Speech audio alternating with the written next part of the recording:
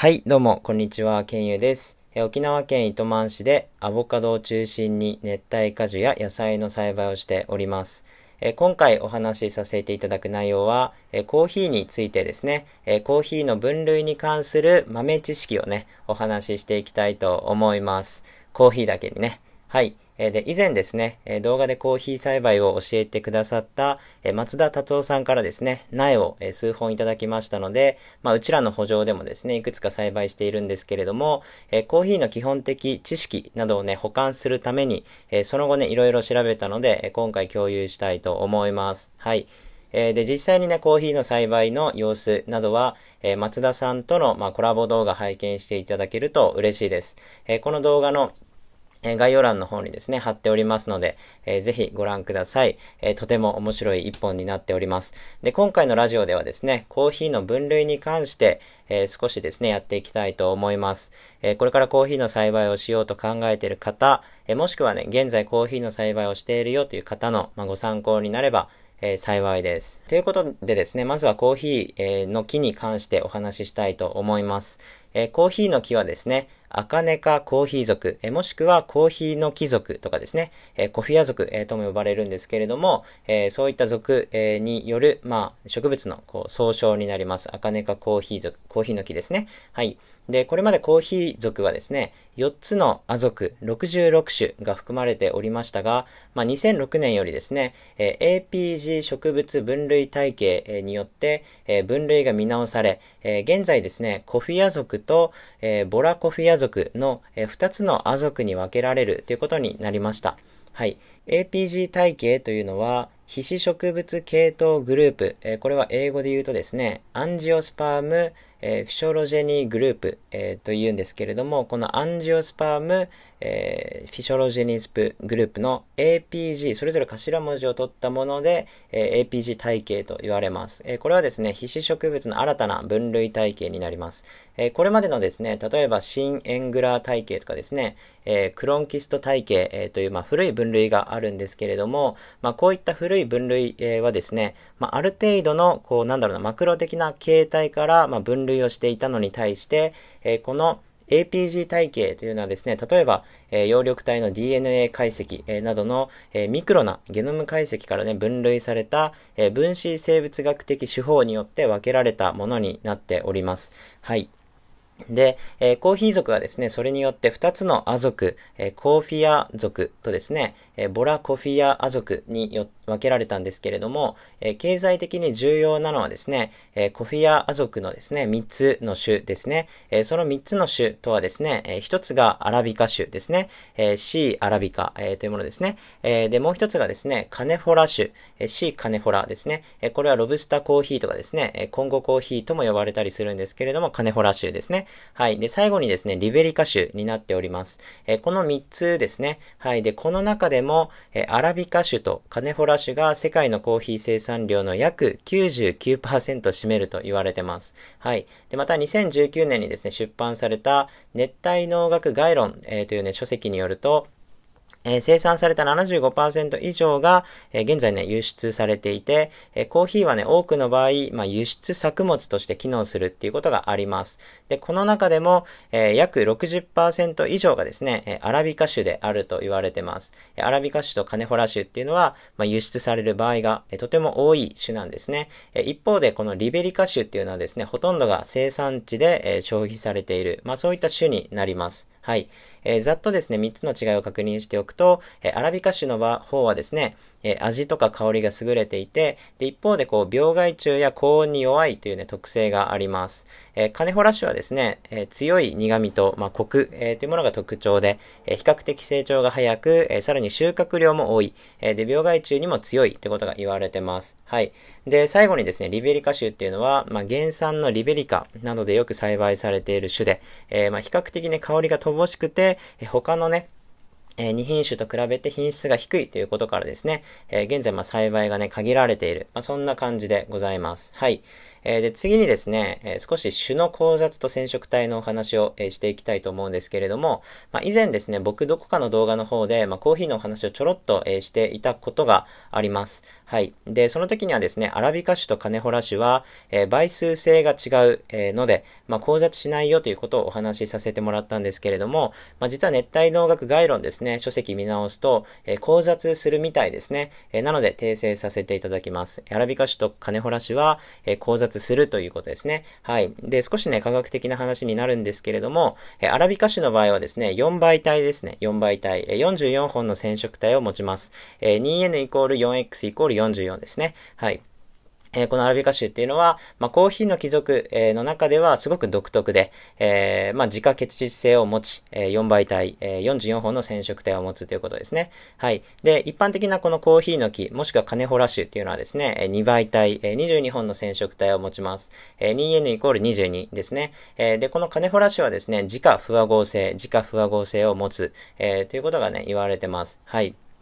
で、えー、まあ、種によりですね、倍数性が異なるんだけれども、まあ、この二つですね、実は交雑することができて、まあ、ハイブリッドの種が生まれます。えー、例えばですね、アラビカ種とカネホラ種が、えー、交配したアラブスタ、え、と呼ばれるものがあります。はい。では、それぞれですね、アラビカ種、カネホラ種、リベリカ種の特徴を深掘りしていきたいと思います。はい。まずはアラビカ種についてですね。えー、アラビカコーヒーというのは、まあ、現在世界でね、最も広く栽培されている種で、えー、味、香り、ともにね、えー、とても優れている、種になります。え期限はね、エチオピア、エチオピアですね。エチオピアの南西部の標高の高い地帯、えー、これ標高例えば1500メートルとか、まあ、2000メートルとか、まあ、こういった地帯なんですけれども、エチオピア高原がね、起源だと言われてます。えー、当時のコーヒーはですね、実は食用だったんですけれども、えー、アラビカに入って初めて飲料にされたということで、えアラビカコーヒーという名前がね、知られるようになりました。えアラビア半島っていうのはですね、西アジアに位置して、まあ、アジアとアフリカをつなぐ世界最,、え最大のね、半島ですねはい。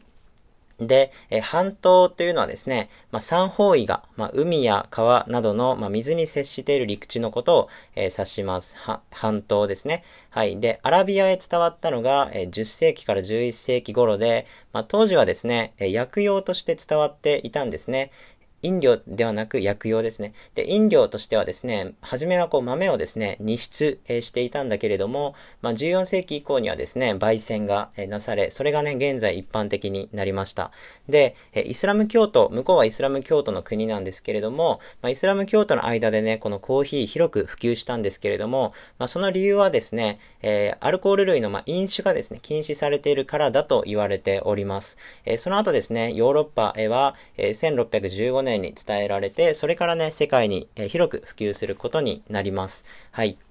で、えー、ちょっと今回割愛するんだけれども、えー、普及していく過程でもですね、まあ、このコーヒーの豆っていうのは、まあ、コーヒーの木とかですね、えー、こういったものは例えば国の重要な、え輸出作物であったため、え木豆、木豆ですね、これ生豆、えの輸出がね、禁止されたり、え他にもですね、コーヒーがとてもね、えー、コーヒーの木がとても厄介とされるサビ病と言われる病気が広がったりですね、えー、これによって、まあ、セイロンとか、ジャワなどでは、まあ、壊滅的なダメージを、えー、受けたりして、まあ、広がる、え、段階でもですね、とても多くの問題があったんだけれども、まあ、現在はですね、多くの国で栽培されているってことがあります。はい。で、アラビカ種はですね、病害虫や高温に弱いという特徴があるため、まあ、現在、え、ではですね、高地で栽培されることが一般的です。はい。えー、次、軽い、えー、カネホラッシュですね。はい。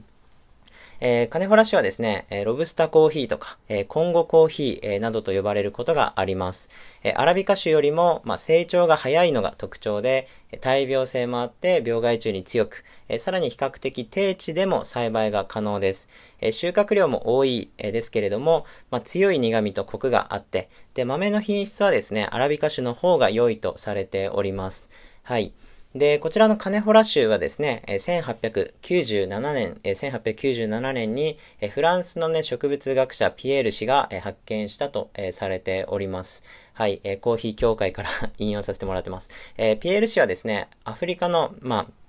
えー、西岸で、えー、アラビカ種で問題となるサビ病に対する耐性があるこのカネフォラの、まあ、一変種をですね、えー、発見して、えカネフォラ種と命名しました。で、このカネフォラ種はですね、え現在アフリカの、まあ、南北緯10度以南以内のですね、えー、西海岸からウガンダにかけて自生するっていうのがね、見つかっております。はい。で、また、えー、まあ、翌年ですね、1898年には、えー、コンゴでこの種と同様な、えー、種がですね、見つかっております。えー、当時はですね、えー、C ロブスタ、えー、と命名されましたが、えー、後にですね、C カネフォラと、まあ、同一種であるってことが認められております。はい。で、まあ、ロブスターっていう名前の意味なんですけれども、これラテン語でですね、強いとか、まあ、強靭なっていう意味があります。えー、サビ病とか、まあ、その他、病害虫にも強く、えー、高温多湿な環境にも耐え、まあ、ある程度ね、えー、粗法的なというか、こう、放任的なね、え栽培でも十分育つということから、この名前がついております。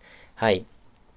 えー、ちなみにちょっと余談なんですけれども、まあ、僕ね、もともと工学の世界にいたんですけれども、まあ、工学の世界ではですね、こう、ロバスト設計というね、概念があります。はい。え多くのね、要因とか、まあ、使用条件、まあ、環境のばらつきなどに対して、まあ、あまり影響を受けずに、まあ、安定的に機能するかどうかというね、まあ、えー、するようにするっていうね、まあ、設計指針があります。はい。で、僕もですね、こう大学院で制御系設計というものをしていたときに、で、ある制御系をですね、こうパラメーター値を模索するんですけれども、まあ、このロバストの概念をですね、ものすごく意識して作ってました。はい。で、このロバストも、まあ、ロブスタ種の名前の語源とね、同一であると、えー、思います。はい。余談でした。すいません。はい。えー、次にですね、リベリカ種についてお話ししたいと思います。はい、えー、リベリカ種なんですけれども、このリベリカ種はですね、生産量が非常に少ないコーヒーの、えー、種であると言われてます。えー、世界のですね、生産量は1%以下。えー、1%未満 ですね、えー、これは輸出用のコーヒーではなく、まあ、現地消費がですね、なされるコーヒーなんですね。はい。で、原産はですね、名前の通り、リベリアですね。えー、西アフリカに位置する国です。え、北側にですね、ギニア、えー、西にですね、えー、シエラレ、レオネ。シエラレオネ。はい。難しい。初めて聞いた。えー、東側にですね、コートジボワール。これはサッカーがね、え結構強いというね、えことで僕も覚えてますけれども。と、まあ、国境をね、接していて、え南側はですね、大西洋ですね。え現在リベリア州っていうのは、まあ、リベリアとか、えスリナムとかですね、コートジボワール、えなどで栽培がなされております。えー、以前はですね、アラビカ種に代わって、まあ、サビ病への耐性が期待されていた種、えー、でありましたが、まあ、現在ね、感受性、えー、というのが認められております。えつまりですね、サビ病へかかりやすいということですね。はい。えー、特徴としてはですね、他の2品種に比べて、まあ、香りがですね、乏しくて品質が低いとされております。えまた、まあ、大木になるため、まあ、管理がですね、難しく、豆の収集も困難になる場合がね、多いということです。はい。非常にね、飲んでみたい、えー、種ではありますけれども、まあ、広まらなかったね、理由もきちんとある、えー、ということがね、まあ、あるんですね。はい。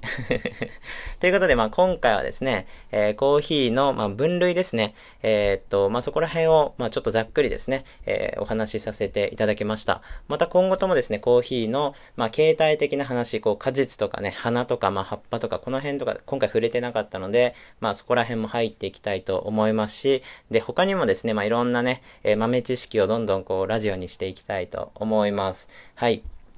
で、えまた繰り返しになりますけれども、えコーヒー栽培のですね、え動画、松田達夫さんと、えコラボ動画ですね、えありますので、えぜひそちら、えまだ見られてない方は、え見られてください。え栽培、沖縄での栽培環境ではですね、栽培管理。で、え達夫さんの農法はですね、え無農薬栽培というよりも、こうなんだろうな、自然栽培に近い、えまあ、自然栽培、えをですね、実践して、えおられる方で、まあ、非常にですね、面白いと思います。はい。まあ、害虫の話とかね、まあ、収穫方法の話とか、収穫後の、えー、その後のこう、飲料になるまでの流れとかですね、もう本当に、あの、とても楽しい話が、あの、いっぱいあります。はい。いっぱいありますので、ぜひ見てください。はい。えー、ということで、最後までお話を聞いていただきありがとうございました。えー、それではね、えー、本日も素敵な果樹、野菜栽培ライフをお過ごしください。ケンユでした。バイバイ。